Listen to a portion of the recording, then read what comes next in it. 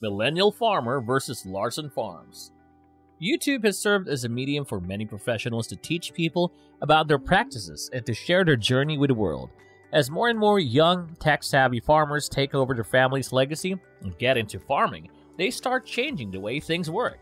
These young farmers wanted the best of both worlds old practices with new improvements. Today, a lot of people have renewed interest in farming and wish to learn more about how it works which led to the rising popularity of YouTube channels in this genre. Today, we're going to be comparing two such channels, Millennial Farmer and Larson Farms. So, without further ado, let's get started. The Millennial Farmer, Zach Johnson, is a fifth generation farmer from western Minnesota. He is continuing his family's legacy and farming over 2,600 acres of land. Wheat, corn, and soybeans are their three main agricultural products. He started his YouTube channel as a hobby in September 2017, one of his videos went viral, and since then, he's been posting videos about how to use and take care of heavy farm equipment and do all sorts of other tasks that are done for large scale farming.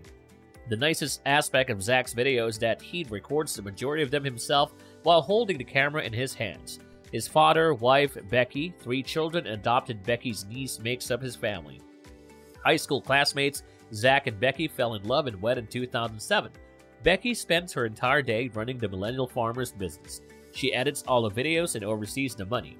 Additionally, they offer Millennial Farmer merch such as t-shirts, caps, sweatshirts, and beer cozies. Through his YouTube channel, Zach has also adopted and taught the general public about the new generation of farming. But he has also managed to maintain the fundamentals of farming so that the beneficial practices of traditional farming methods are preserved.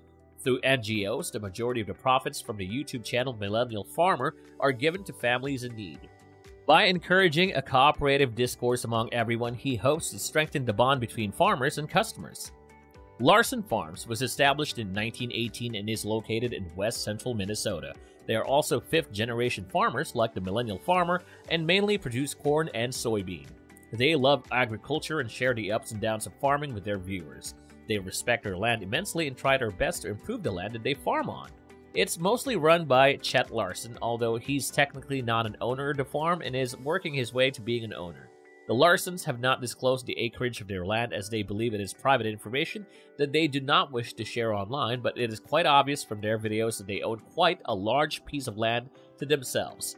Due to this, they use machinery and equipment that's amongst the best choices available in the market, and also upgrade their equipment as and when necessary. The whole family is quite invested in the farm, and it is heartwarming to see how much passion they work with. A major reason behind their success is their knowledge of farming. Having been established so long ago, they sure know a great deal about farming, and subscribers flock to them for this knowledge. Now let's get to comparing both these channels with each other. Channel stats. The Millennial Farmers channel was started back in April 2016, and now they have over 973,000 subscribers with about 521 video uploads, which have garnered over 283 million views. They receive 7.4 million views monthly on average.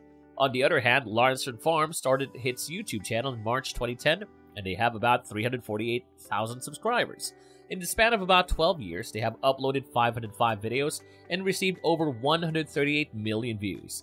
They garner 4.3 million views monthly on average through their channel was started way earlier than Millennial Farms.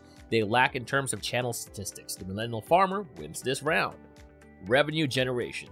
You guys can probably guess that because of their higher subscriber count and views, the Millennial Farmer earns more than Larson Farms. If you thought so, you're absolutely right. Millennial Farmer earns about $359,000 a year as opposed to Larson Farms, who earns anywhere between $13,000 to $209,000 yearly.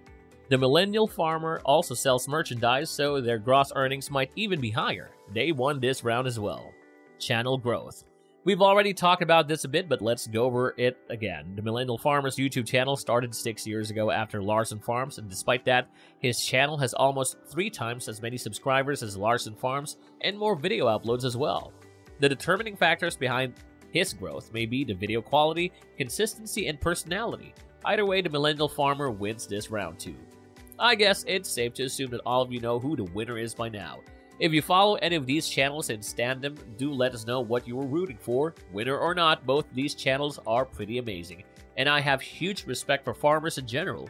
They are the ones producing the food that we cannot sustain without, and I am grateful for that. That's it for today, folks. As always, do like, share, and subscribe to our channel, and also press that bell icon so you never miss an update from us.